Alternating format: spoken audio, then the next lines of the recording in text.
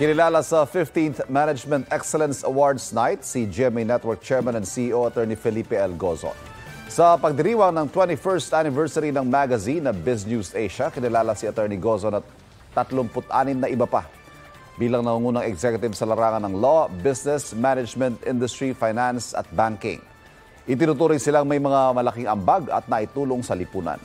Dumalo rin sa nasabing event sina Senate President Juan Miguel Zubiri at House Speaker Ferdinand Martin Romualdez na at naghatid din ng pagbati si First Lady Liza Marcos.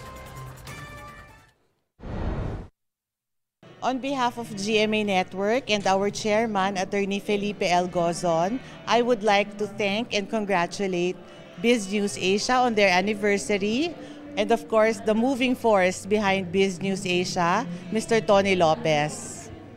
Just like um, Biz News Asia, GMA always strives for excellence in delivering quality entertainment and news to the public. this kind of event celebrates excellence. And you know, more than ever, we need excellence in governance, in business, in management, in industry, in finance, in banking. Because without excellence, we become mediocre. Kapuso, mauna ka sa mga balita. Panoorin ang unang balita sa unang hirit at iba pang award-winning newscasts sa youtube.com slash GMA News. I-click lang ang subscribe button.